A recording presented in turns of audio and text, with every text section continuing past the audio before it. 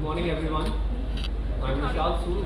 It's my distinct honor to welcome you both on behalf of Khabrain Abhi Tak as well as on behalf of Maharshi Markandeshwar University on KAT Edu Conclave 2018.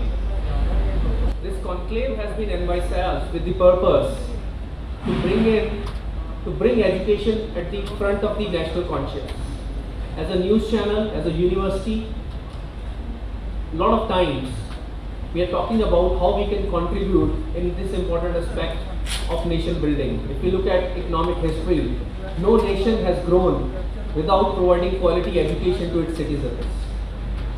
The whole idea of KAT Edu Conclave came to first recognize the effort made by different professionals in the area of education. At the same time, to bring in best practices, to identify best practices which people are adopting in their own areas through panel discussions. And the true success of KAT Conclave will lie if the ideas discussed today translate into action in classrooms as well as in institute boardrooms. Again, without taking a lot of your time, I welcome all of you for this first KAT Edu Conclave. I hope this is the beginning of a great journey where every year we come together and discuss important issues related to education. Thank you everyone. Welcome to the